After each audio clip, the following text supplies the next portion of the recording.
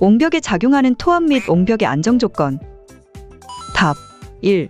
개요 1. 옹벽은 토합을 견디기 위해 설치하는 구조물로서 옹벽의 안정 조건을 준수하고 설계 및 시공하는 것이 매우 중요함. 2. KDS 118005 2020 및 구조물 기초 설계 기준 등 참조. 2. 옹벽에 작용하는 토합 1. 콘크리트 옹벽과 뒷채움제의 자중 등 고정 하중 2. 상제 하중에 의한 토합 증가량 3. 배수가 되지 않는 조건에서는 수압과 부력 4. 콘크리트 옹벽에 직접 작용하는 외력 5. 지진에 의한 하중 등 3.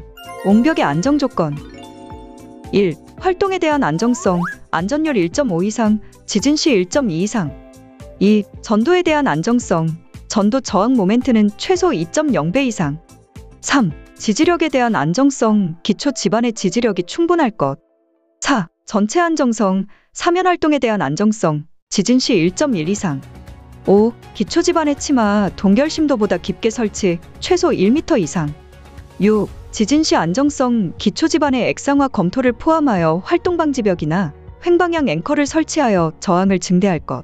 끝. 옹벽에 작용하는 토합 및 옹벽의 안정 조건.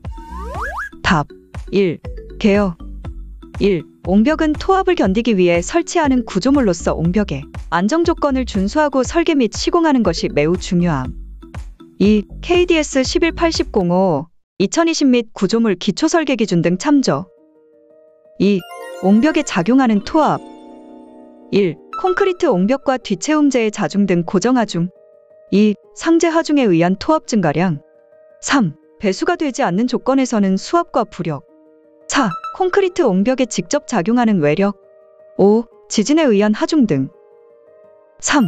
옹벽의 안정 조건 1. 활동에 대한 안정성, 안전율 1.5 이상, 지진 시 1.2 이상 2. 전도에 대한 안정성, 전도 저항 모멘트는 최소 2.0배 이상 3. 지지력에 대한 안정성, 기초 집안의 지지력이 충분할 것 4. 전체 안정성, 사면 활동에 대한 안정성, 지진 시 1.1 이상 5. 기초 집안의 치마, 동결 심도보다 깊게 설치, 최소 1m 이상 6. 지진 시 안정성, 기초 집안의 액상화 검토를 포함하여 활동 방지벽이나 횡방향 앵커를 설치하여 저항을 증대할 것.